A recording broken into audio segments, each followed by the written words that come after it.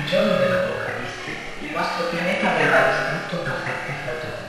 L'ultimo di esse, che potete